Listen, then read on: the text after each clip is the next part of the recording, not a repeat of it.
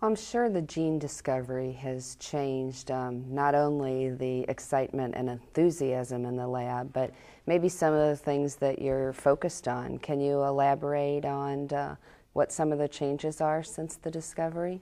Yeah, I, th- I think the word um, focus is exactly what the gene discovery has meant to us and meant, meant to research. Um, we have um, always, since we started working uh, on FOP, uh, looked towards the patients and the development of the disease to give us clues and to help us understand and to uh, formulate the questions that we can investigate to begin to uh, understand the disease and to further our understanding of, of FOP.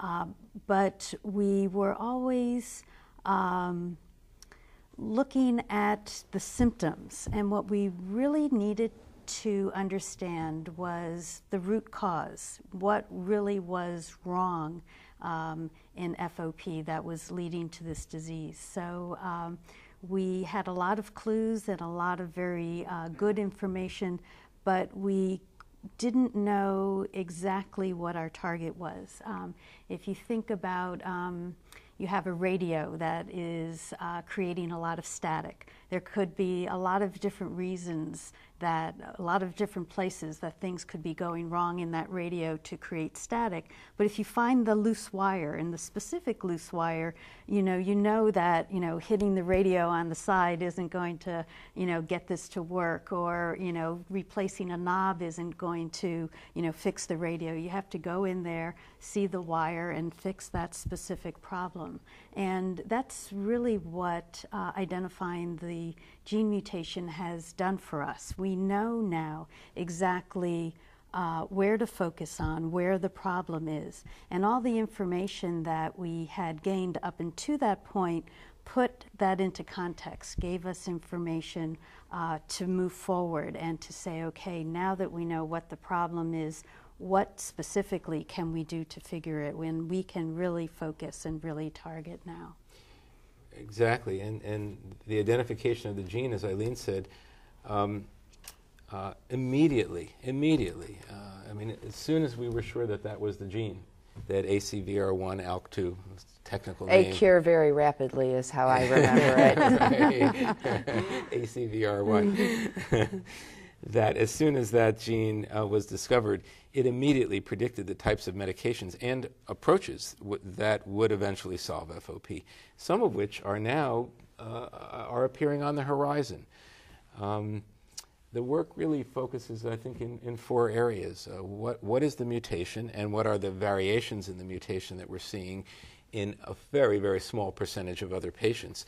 That gives us the depth of perspective to understand the next question is what are the mechanisms? How does this gene, how, do, how does this wire malfunction to cause this static that can, you know, tr- that can uh, uh, set off an atom bomb?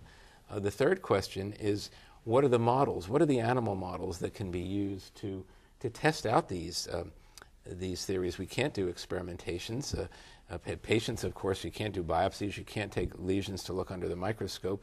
So, what animal models could be developed to test these out?